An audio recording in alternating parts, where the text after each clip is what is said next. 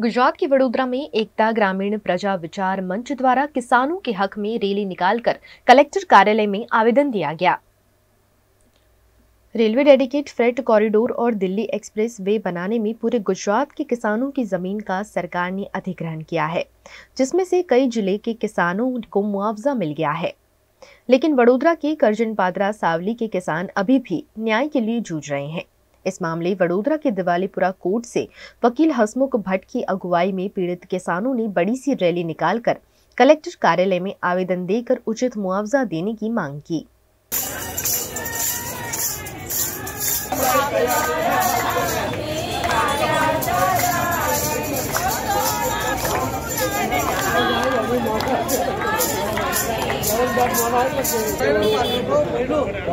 કોઈને હક નહીં સિવાય છે, હાલી નહીં.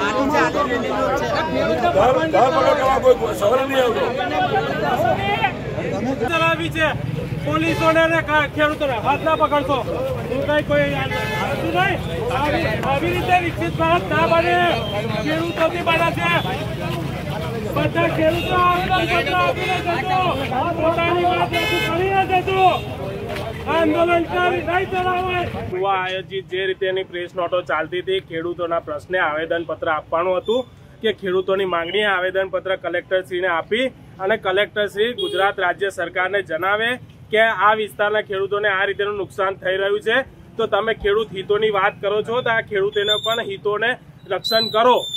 પરંતુ આજે આવેદન પત્ર આપવા પણ જવા દેવા નથી. આટલા હજારો ખેડૂતો આયા. એમાં આગેવાનોની વગર કઈ ધરપકડ કરી ખેડૂતોને પણ દબાવવાની વાત કરે છે. પ્રશ્ન સીધો છે કે વળતરની માંગણી છે આ વિકસિત ભારતમાં સૌથી મોટું યોગદાન ખેડૂતોનું છે. ખેડૂતોની જમીન ઉપર આ ભારતનો વિકાસ થાય છે. ખેડૂતો પોતાની આજીવિકા ગુમાવી રહ્યા છે. તો એની અમે વળતરની માંગણી કરી રહ્યા છે. આ વિસ્તારના ખેડૂતો છે.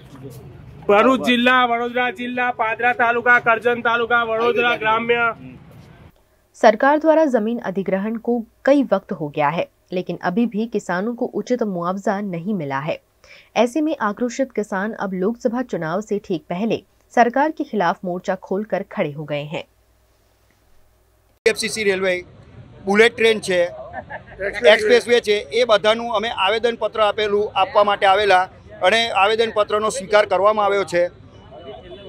બીજા નંબરમાં કે આ અમારો જે વધારો છે પૈસાનો, જે સુરતની આગળ આપ્યો છે, એવો વધારો અમને બી આપે, એની માટે કોર્ટમાં કેસ ચાલુ છે અને આ લોકો કઈ પહેલાં આર્બિટ્રેટરમાં ચાલતો હતો, ત્યાંથી અમને ના પાડી દીધી. હવે અત્યારે અહીંયા આગળ આવ્યો છે, તાનાશાહી શાસનમાં ચાલે છે. એટલા માટે આપણે આવેદનપત્ર આપવામાં આવ્યું છે અને આવેદનપત્રનો સ્વીકાર કરવામાં આવ્યો છે. ચૂંટણીમાં વોટ આપવામાં નહીં આવીએ, આવે બધા જ અમારા જેટલા સંબંધીઓ છે એ બધાના ચૂંટણી કાર્ડ લઈને કલેક્ટરને આપવામાં બી આવશે કે અમે આટલા લોકો વોટિંગ આપવાના નથી. નવસારી સુરત બાજુ જે વળતર આપ્યું છે એ વળતર અહીં આપવામાં આવ નહીં આવે તો ચૂંટણી બહિષ્કાર થશે અને ફરી વાર તો આટલા નહીં આનાથી પચાસ ગણું પબ્લિક અહીં આવશે. ઉગ્ર આંદોલન થશે. અહીં ઊંઘી જવામાં આવશે. ઉગ્ર આંદોલન કરવામાં આવશે. જવાબદાર કોણ? જવાબદાર કોણ થશે? સરકાર. સરકાર. સરકાર. આ એમનું રાજ ચલાવે છે.